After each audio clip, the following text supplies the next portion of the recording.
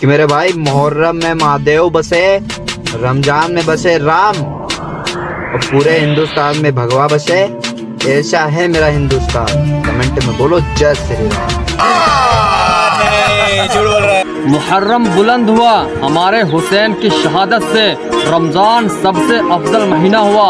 अल्लाह के कुरान से हमारा भारत देश सबसे खूबसूरत है। भगवे रंग से नहीं, बल्कि हर धर्म के रंगों से। इस देश में हिंदू, मुस्लिम, सिख, ईसाई सभी मोहब्बत से रहते हैं। तू नफरत मत फैला, अपनी जहरीली ज़ुबान से समझे। अल्लाह अकबर।